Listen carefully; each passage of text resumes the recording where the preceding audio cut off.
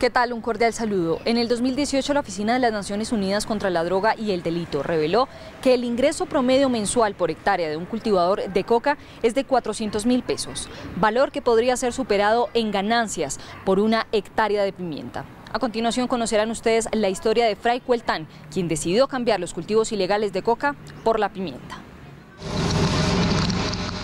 Productores, cambiemos de mentalidad. Este contundente mensaje lo envía Fray Cueltán a los cientos de productores de coca que aún están dedicados a estos cultivos ilegales. Durante muchos años, este campesino se dedicó a cultivar coca, hasta que fue su hijo mayor quien lo hizo cambiar de decisión.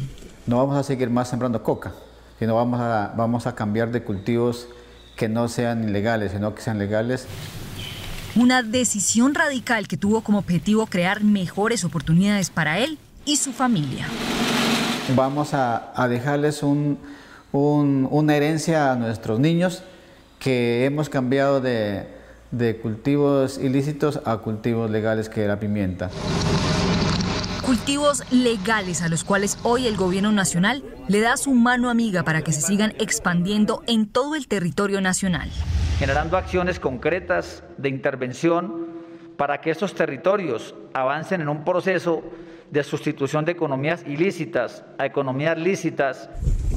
Acciones que benefician especialmente a comunidades campesinas y afrodescendientes víctimas del conflicto armado como Fray.